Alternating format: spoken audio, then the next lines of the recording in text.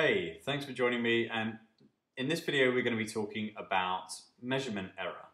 Uh, specifically measurement error in the um, independent variable. So those are the variables on the right hand side of our regression. And I want to be speaking about why this actually leads to a violation of the Gauss-Markov assumption of zero conditional mean of errors. Well, we spoke another way of actually illustrating this zero conditional mean of errors assumption by saying that the covariance of ui with our independent variable xi won't be equal to zero. So if either of these two things are true, or in fact both of them are true, then we know that this leads to a sort of beta hat OLS to be um, biased. And I want to speak about why that's the case. So let's think about the example which I gave in the previous video, which was relating a company's level of sales to their advertising expenditure.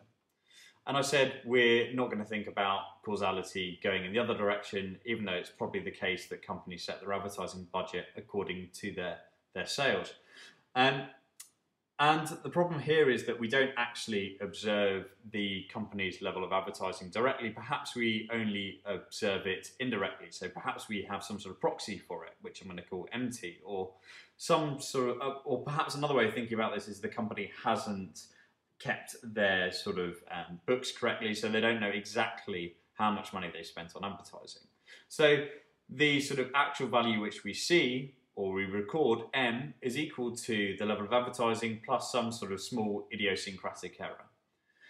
So the actual regression equation which we estimate then is going to be S is equal to alpha plus beta times AT. Well, AT is equal to MT, if I took the VT over to this side, it would be MT minus VT plus UT, which I can sort of write out uh, more completely, which is alpha plus beta times MT plus some sort of composite error ut minus beta times vt. So this is our composite error term here.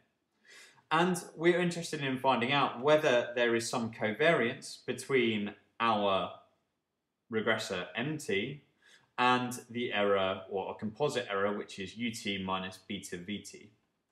And we know that if this doesn't equal zero, then that's going to be a violation of the Gauss-Markov assumption of no endogeneity. So OLS is likely going to be biased.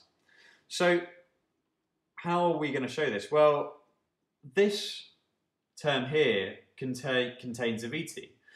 And we know that MT itself actually contains a VT by this relationship here. So this is going to be something like, and it's not going to be exactly, but it's going to be something like minus beta times the covariance of VT with um, AT plus VT because I've, I've sort of iteratively, uh, well, sorry, I've substituted in here um, AT plus VT for MT.